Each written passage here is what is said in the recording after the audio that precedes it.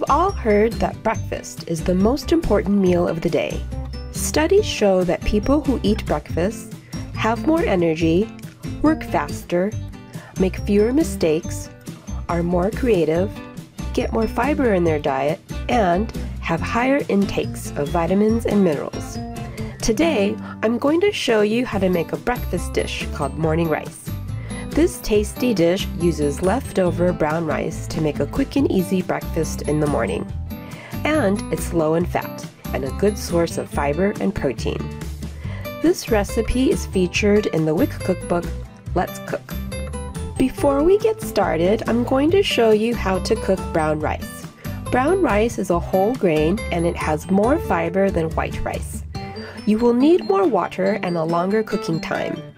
For every one cup of brown rice, use two cups of water. This will yield three cups of cooked rice. First, bring two cups of water to boil in a heavy saucepan. Add one cup of brown rice. Return to boil, then reduce heat to low and simmer covered for 35 to 40 minutes. Check to make sure that all the water has been absorbed by gently moving the rice with a small spoon to see if the water is left on the bottom of the pan. Do not stir the rice. Turn off the heat and let the rice rest for 5 minutes, then fluff with a fork. Now your brown rice is ready to use.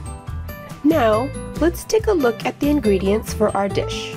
You will need 1 half cup of cooked brown rice, 1 quarter cup of low-fat milk or soy milk, 1 apple peeled, cored, and finely chopped, 1 quarter teaspoon vanilla extract, and 1 quarter teaspoon of cinnamon.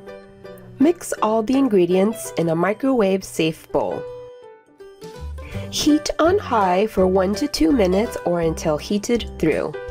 To make this into a complete meal, today I'm going to serve my morning rice with a glass of 1% low-fat milk. Morning rice. It's easy, it's healthy, and most of all, it's delicious.